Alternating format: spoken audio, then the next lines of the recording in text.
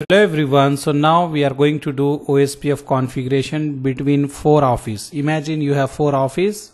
You taken the lease line from the ISP. ISP told I give you L2 line. That is a L2 circuit. Whatever you want, you do. He don't care about the IP. He don't care about the routing protocol. Whatever you are using because he give you L2 circuit. They will charge you more because you are using everything. This is a virtual lease LAN, but big companies are using virtual lease LAN because our data will be more secure.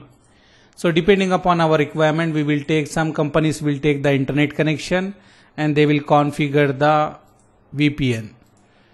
Even though if we take the virtual lease LAN, we will configure VPN also. That is depend company to company. Different companies having different policies. So depending upon the company policy procedure, we are following that one. So if you see here, this is the R1, we will give the name. Just I am making the topology. We have four office in different city and we are connecting with the help of OSPF. And later what we will do, we will say in the head office you have the VLAN 10, 20, 30. In the branch office you are having 40, 50, 60 and we are converting that VLAN and we are enabling the OSPF under the VLAN. We are going to learn that one also. After interface method, we will learn that one. So this is the same thing what we done in our previous class. What I will do here, I will do like uh, just four router we are using. Before we use only two. In this one, you have four instead of two. So like we will say before we have two office, now we have the four office and if you see when we are connecting this one you are getting this error connection error what is the meaning of this one? In the router we don't have the ports to connect that one. If you see this router the router which I am showing here this one is connecting three interface. But by default if you see here in this router we have only two port. If we see here if we zoom in this one you have only how many ports here? Two port only. So we need to increase the port here. This one, two port. Here you have console auxiliary, but the Ethernet fast Ethernet port only you have two. So you connected one here, one here. So you cannot connect the extra port. So what we will do to do that one, we will first power off the router and we will buy the LAN card, LIC, line card, LC we are calling. LAN card is nothing but LC. So this is the LC. You can read the description. This is a model number and this is having the two fast ethernet.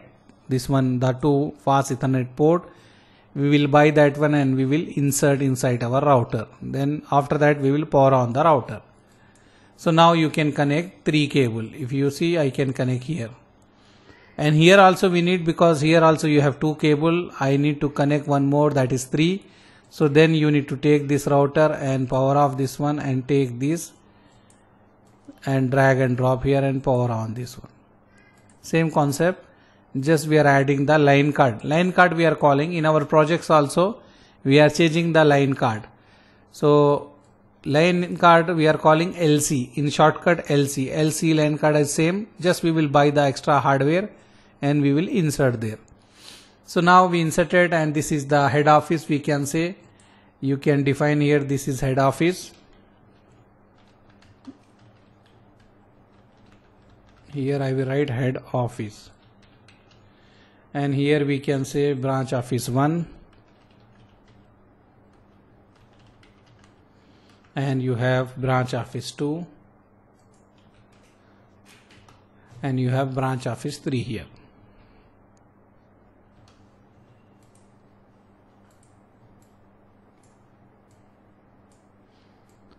and name router name whatever you want you can give. If you want to give head office you can give head office. Example head office. Shortcut I am writing. Here you will give BR BO branch office 1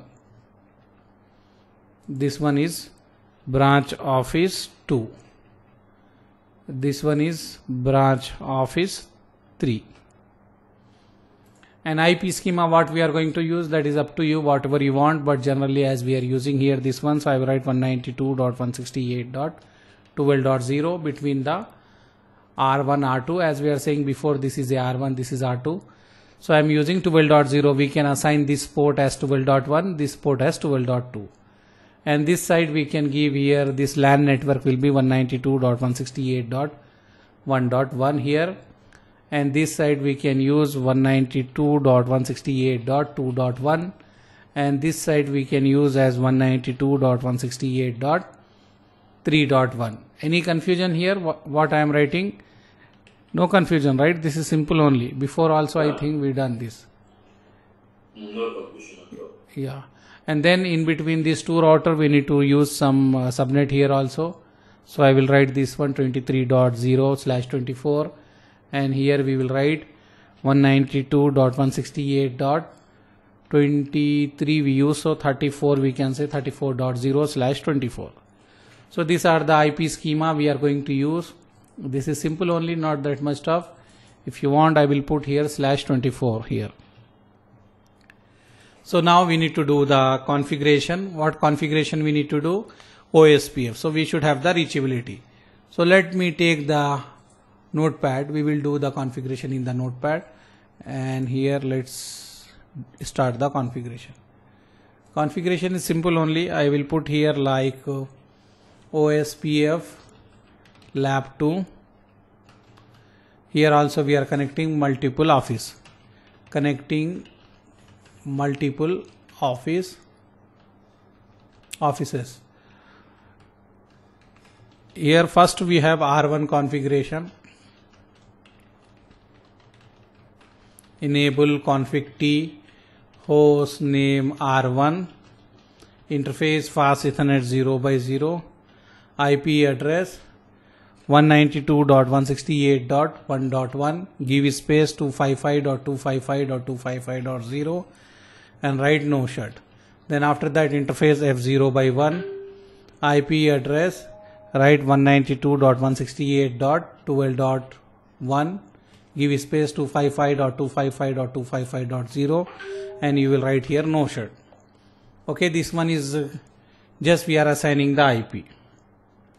Okay, just we are assigning the IP. One second, someone is sending some data okay so this way we assign the IP and now what we will say here here we are using some area before we use area 0 we can use area 0 or any area. Imagine this all are in the same area. Later we will see multi area. Actually they did not put in the CCNA multi area but anyhow we are going to do that one also. What I will do I will say this is a area 1 okay? This all whatever the green color you have here all are area 1 so you need to remember in future if someone bring here one router and that router is in area 2 then it will not work. If you connect area 2 to area 1 we should have area 0 in between. Here if you have uh, some more router that all are in the area 1 no issue it will work. But if it is in different area it will not work. You need to have the backbone area. As we told area 0 is a backbone area. We should have the area 0 if you want to connect the area 2 to 3 or any different area you should have in between area 0 this is the what we can say this is the concept we need to remember.